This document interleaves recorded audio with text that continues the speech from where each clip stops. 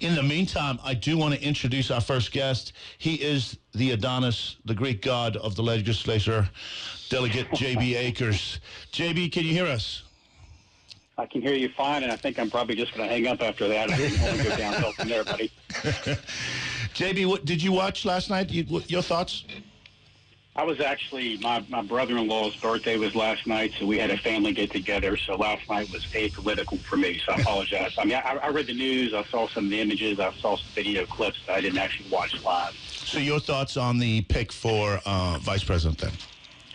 Well, I, it wasn't a, a huge shock. I think he's been on the short list for a while. I think one of the comments before that he is. I think the perception is that he's uh, more of a, uh, I guess, a harder right candidate. But in some ways, that's not completely true. I mean, if you look at some of his positions, which are very populist, and I think those populist positions are starting to align more with conservative ideology. But you know, traditionally, he's been pretty. Um, you know, friendly towards some of the union efforts, as an example. Yeah. Um, so, you know, that's not what you would call a traditional, at least not a traditional big business or chamber of commerce Republican position, at least. Uh, and there's been some other things that he doesn't align. He breaks ranks with Republicans on some other issues. And I think you see, you know, like Senate leadership. I'm not sure that Mitch McConnell is necessarily a huge fan of J.D. Vance. And I think, you know, a lot of people probably like that. I don't know if you all saw it. I did see a clip where Mitch McConnell, I guess, got booed. Yes, he got booed uh, pretty, pretty darn badly. Yeah, so you know, I think to some extent, uh, if you're perceived as being anti-establishment, which I think J.D. Vance, at least in some ways, is, even though he's a Silicon Valley venture capitalist guy, but I think he's seen as being to some extent anti-establishment. That helps his street cred under the current environment. Uh, so I, I think it's for Trump. Uh, you know, it's, it's a good pick, I think, in terms of what the message he's trying to send. Uh, you know, this you know, the non-interventionist policy that I think a lot of Republicans are now in favor of. I mean, we now have this strange flip where you see things like Democrats want to intervene in foreign wars, uh, which used to be something that was anathema to them. You have conservatives who are like, wait a minute, what are we doing? You know, getting involved somewhere where it's you know probably none of our business. Yeah, that's a more complicated issue, but you know, J.D. Vance falls, I think, on the right side of that ideology for a lot of the more populist uh, Republicans these days. So. So, JB, um, tell us a little bit about yourself. Obviously, this is the first time you, are here. You rep, you represent South Charleston, is that correct? No, well, so I've got I've got um, a pretty big chunk of Kanawha County. Uh, I've got maybe what you're thinking of is I've got about half of what's called South Hills in Charleston. Okay. Yeah.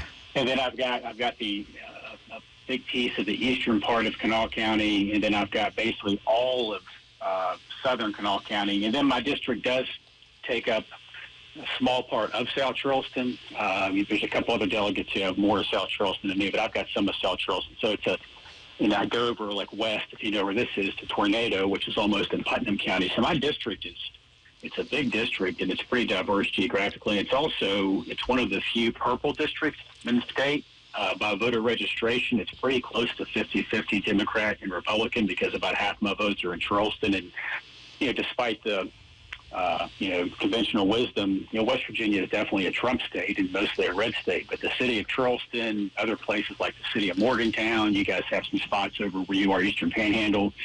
Uh, the city of Charleston is a very blue city. Uh, so, uh, but the rest of my district, as soon as you leave city limits, like as soon as you step over the city limit line, it becomes, you know, very red. So it's a diverse area that I represent. But I, Go ahead. I'm sorry. You you took over from or were appointed to take over from Moore Capito, correct? Yeah, that's right. So when yeah. Moore resigned, it was actually you know almost right before the legislative session. Um, I was appointed to fill his seat. I was appointed the day before the session started, so I had less than 24 hours uh, notice. Uh, and I believe you were speaking on the floor within 24 hours. No, not like the rest of us who waited a year because we were too scared. I think you. What I'm saying is, you really took to the ground running, uh, in my opinion. Well, I, well, I, I tried. I, I, hope I didn't talk too much. Although, as a lawyer, people probably think that I do. But I, I tried to speak on issues only when I thought it was important or I had something uh, really to add. I didn't go there just to hear the sound of my own voice because uh, nobody wants that.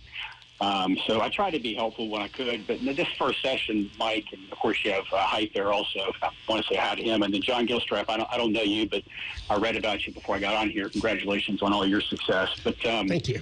You know, I, try, I tried to build relationships this first session. I didn't go in there with my own agenda. I, I don't think that I've got all the answers. No one does. Uh, and I mainly just tried to meet people, build relationships, find out what's important to the rest of the folks, uh, you know, in, in the House, especially the Republican caucus, and then just be a helpful part of the team. Uh, you know, and when I did speak, I hope that I helped advance the ball. I mean, there were a few times I spoke out against a few issues, but I didn't. I try not to do that too much. Uh, so, Mike. Good morning, JB. Hey, buddy. How are you today? I'm doing well. So, listen, I want to go back to the convention, and, and you mentioned uh, a little bit of how JB aligns with the, the, unions from time to time. What are your thoughts about the uh, the union boss, uh, the Teamsters Union president, uh, coming and speaking at the Republican National Convention? I mean, it, it's an amazing shift. It's something that you wouldn't have even told as a bad joke in the not too distant past. It never would have happened. Uh, you see some uh, you know union leadership up in New York, where Donald Trump is from, where you know Donald Trump is you know, broadly unpopular in New York, but he's actually popular with some of the unions up there. Um, so there's just been a shift, and it's just populist. And I think, you know, again, let me say this first: I've got lots of Democrats in my family. I'm not someone who tries to you know throw grenades at the other side or say that one side's always right, one side's always wrong. But clearly, I mean, this is I think objectively true the Democrat Party, definitely at the national level, has left the working class behind. They've lost the messaging with them. They don't know how to talk to them anymore. Uh, they are, um, you know, incoherent in what they are trying to uh, do for the working class, and that working class continues to shift towards the conservative. I won't even say Republicans as much as just more of a conservative ideology, which I mean that obviously is going to be the Republican Party. Uh, but you know, you see that. I mean, this state of West Virginia is no better example, uh, guys. And you know, when I was growing up, I've been a Republican since the day I registered to vote when I was 18. Even though almost everyone in my family was a Democrat, uh, so that's a long story. I mean, I just, I just knew. You know, it's one of those things where it's like I met my wife and I just knew that I loved her and when I registered to be a voter, I just knew for whatever reason that I was a Republican, despite most folks weren't, and I didn't have anybody to vote for most of the time for a long time. I mean, I, I would be in a primary. There would be literally no one on my side of the ballot in the primary in a lot of the races. And by the time you got to the general election, the election was over. Right. So, right. and that shift has been dramatic.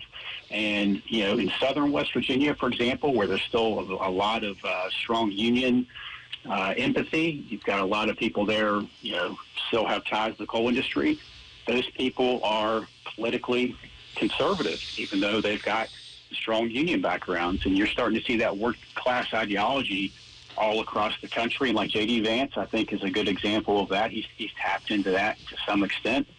Uh, and it's a real problem for Democrats. And it's a problem that I'm glad that the Republicans are, uh, I'm not going to say taking advantage of. That probably comes across the wrong way. But, you know, those should be our voters. I mean, the people who are, you know, patriotic Americans, the people who are America first. And guys, there's nothing wrong with saying America first. And that's another place where I think that you have the working class people who scratch their heads and say, you know, why does the Democrat Party sometimes, again, at least at the national level, tell us that having an America first platform is somehow wrong or bad?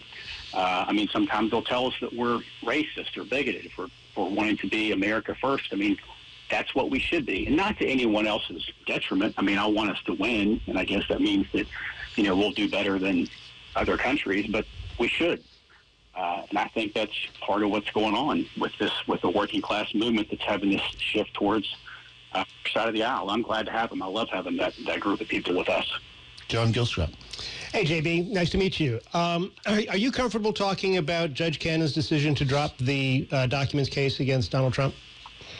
Yeah, I mean, yeah, to the extent that I, I know about it, and I won't pretend like I've done some deep dive into it, but it's a uh, legally, it's a fascinating uh, decision because it's got really broad ramifications. Uh, if that decision stands, and let's keep in mind that's one district court judge's decision, uh, I assume the government will appeal that, and you know that's something that potentially can wind up in front of the U.S. Supreme Court if it goes that route. Uh, so this may not be the final decision, but for now, it's obviously good news for President Trump. And it's I think it's also another expression of the times that we're in, where there is a very strong belief in this country that the federal government has just expanded beyond any reasonable measure of what we perceived it, you know, it, its role to be. Uh, and you know, another example of that to, to draw attention to another case was the case that overruled the Chevron doctrine uh, about a month or so ago, uh, where the Supreme Court basically said that these administrative agencies have been overstepping their bounds and exceeding their powers. And I think this judge in Florida, Judge Cannon, that was an expression of the same thought process, which is, you know, you can't have the Attorney General of the United States going out and appointing what in effect is a, a, a second Attorney General in this situation with unlimited powers, unlimited spending, unlimited discretion, no uh, controls whatsoever, and that that should be something that Congress is in charge of. And you know, so we'll we'll see if legally that decision holds up. But I think it's a again a fascinating legal decision. I'm actually, you know, I'm not always a result oriented guy. I think we should do what's right, whether it means the person you want to win, you know, wins or loses. I mean, the institutions are important, but um, I'm glad she made the decision based upon reading of the case. I don't think you can objectively say she was wrong. I think she makes some very good points. And I'm actually more interested to see where the case goes because I think it's an important decision in terms of making sure that these appointments are actually valid. I think we've gotten to the point, to the extent where we just assume that this is something that the government can do. And really, maybe the government shouldn't have been doing this all along. This may have been wrong before the Trump case. So um, anyway, it's um, that was when I came out. I was uh, I was I was glad to see that decision. Assuming assuming that that this holds up, um, the last part of her decision uh, says that excuse me that the the uh, Congress or the president is welcome to uh, give this case over to a U.S. attorney and have them right. have them develop the case that way. But as a practical matter, if all of the warrants and all of the evidence was collected under the the the the Jack um, Cannon, the, the, the special prosecutor's Yeah. um, jurisdiction. Um, isn't that all fruit from the poisonous tree? I think that's the right legal term. Uh, Is it? You can't revive this case under those circumstances, can you? I mean, it's a practical legal Yeah, matter. well, yeah. Well, I mean, again, again, you're talking about like high level legal theory here, but I, I think that that's a good argument, John. And if if Jack Smith's appointment was That's- unconstitutional from day one, then any work that he did from I mean, if I was Trump's lawyer, I would absolutely say, yeah, anything that Jack Smith did unconstitutionally is dead in the water. Uh, can't be used in any uh, proceeding from this point on. I mean, it's the same thing as, you know, like you said, let's take it down to a more common, uh, you know, scenario where if you just have the police who enter your house without, uh, you know, a proper search warrant and they come in just start looking around uh, without legal permission and they find whatever, they find a bag of weed in your house and they, uh, they charge you because of that. Well, as soon as you prove that the police were in your house illegally and that was an unconstitutional search and seizure, then you're free and clear, even if you were 100% guilty. So in this situation, John, I think you know, there's a very good argument that what you said is true. So, JB, you're on uh, Judiciary Committee, correct? Yes, sir. Are you working? Are you actively working on any um, new laws for next session? Yeah, I mean, I've, I've been talking to some folks about some things they'd like to see happen. I mean, again, uh, you know, my thing again, because I'm a, this is my first session, this Yeah. past session, and everybody want everybody wants to come in and say, "Hey, I'm the smartest, I'm the hardest worker, uh, I've got all the best ideas." Uh, you know, you, you want to give a perception that you are you know, going to go out there and do great things, and I, I, I am a hard worker, and I, I do want to achieve great things. But again, uh, I don't want you guys, I don't want Hite and Hornby and the rest of the guys in the legislature to think that I'm, you know, some sort of know-it-all and that I, I'm going to come in and tell you guys what's best for you know, the state of West Virginia, including where you live. So That's what they've been telling me all morning. Well, that's what Hornby's been saying all morning. Hey, it's not entertaining radio unless you guys get a little bit of that. So. So we, we go into we go into uh, special session end of the month. Uh, the governor's announced he wants us to uh, add an additional five percent Right, um, right. tax cut. um, to the income tax. Your thoughts on his proposal versus what you've heard from the Senate and uh, your other colleagues? Well, so as Republicans, you know, we're uh, supposed to love all tax cuts, and you know, as a, as a rule, I do. I mean, the less taxes people pay with a functioning government, the better. I will say that I was actually at the um, that budget ceremony or that surplus ceremony the day the governor announced it, and that was the first I'm aware of that anyone from the legislature had been told about it. Or the Senate is from what I heard too. Yeah. Yeah. Yeah, from the Senate, Senate or House, either side. I mean, to, it, it appeared to me, and I had some conversations with some high-ranking people there that uh, they weren't given a warning ahead. And I think, you know, I, I, I like Governor Justice, but I think politically, um, he probably did that on purpose to put some pressure on us. It's like, hey guys, here's what we need to do, and then we're forced to react to it. Uh, you know, my view is, um, I know a lot of conservatives want to hear yes, tax cut every single time, but you have to have you know, you have to be able to build roads. You've got to be able to lay water and sewer lines. We need broadband.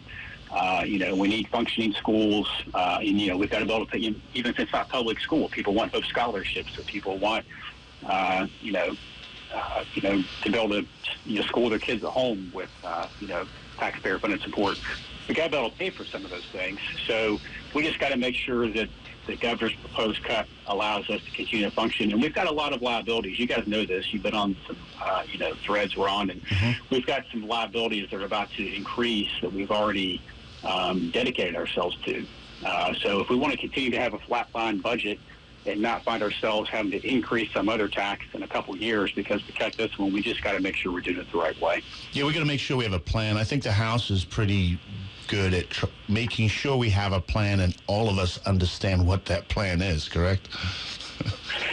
yeah, well, I mean, that's the hope. I mean, yeah. every once in a while something will pop up that you're maybe not 100% ready for. But no, I think generally speaking, you know, the House, at least, on, I mean, this is even before I got there. You guys were there and experienced this before me, but it seems like especially on some of these economic issues or tax plans, I mean, the House has been pretty um, it's, it's been a pretty strong team effort on the House side. You guys have had some overwhelmingly, uh, you know, strong votes uh, in the direction of uh, some of these you know, tax policies, sometimes against the governor's wishes, right? I mean, so it seems like the House does a pretty good job on that, that stuff. Yeah, I would agree. I, am somewhat concerned about this. Uh, I'm, I'm, concerned about the way it, kind of, it, came out, you know, sort of out of the blue. I'm also concerned that we, we that the law that we put into effect is barely two years old, and we're already talking yeah. about circumventing the the right. trigger mechanisms that we put into that law, or, or uh, enhancing the trigger or, mechanisms. Or, right, is, or enhancing is, is the trigger. You know, two years in, and you know, JB, you bring up a great point. There, there's some uh, there's some things that are going to come into play here in January that, that are going to hit the revenue streams.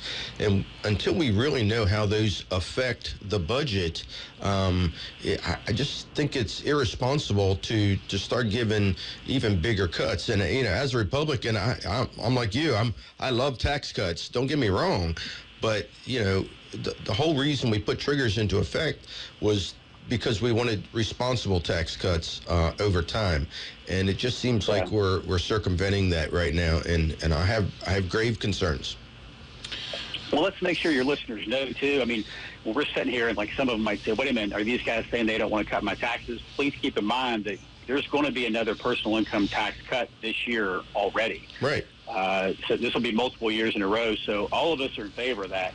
But it's like, you know, a good example. Where everybody can go back and Google what happened in Kansas a half dozen years or so ago, where Kansas got um, overly aggressive, cut to the point where they couldn't fund some of their, you know, constitutionally mandated uh, programs, and they wound up having to raise taxes to fix that problem. So uh, we, everybody who's listening to this uh, who pays personal income taxes is going to be in line for a, a, decrease on your personal income taxes this year. So you're already going to get a cut. That's right. JB, I really want to thank you for joining us.